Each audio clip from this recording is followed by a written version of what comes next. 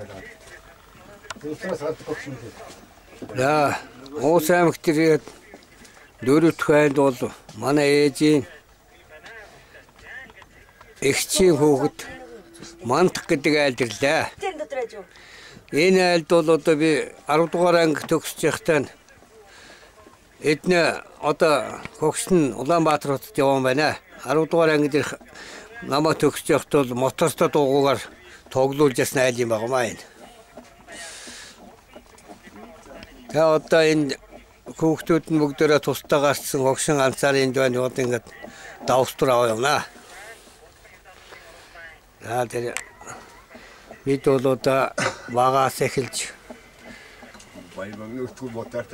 мотортой дуугаар тоглож дараа машинаар тоглож дараа мотоциклаар тоглож амьдэрч яасан юм аа.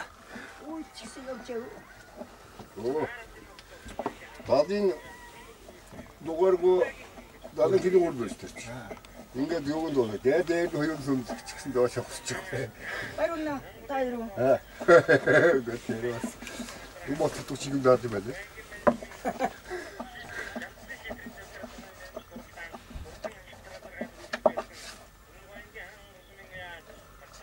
Энэ күнээс нөх мөрөч дөөлөд хүн маань гоо. Бас маань төртэй.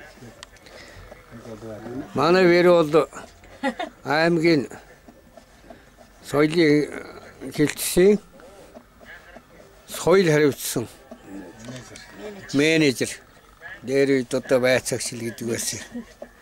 Тэгээ одоо бидний давст гарахын урталд би миний хүсэлтээр одоо өөртөө шилжсэн хоол хийж байна. Энэ хоолыг бид нар идээд давст гарнаа. Эдгээр давстарс нэг аав гадар харан бидний ярьцдаг юм.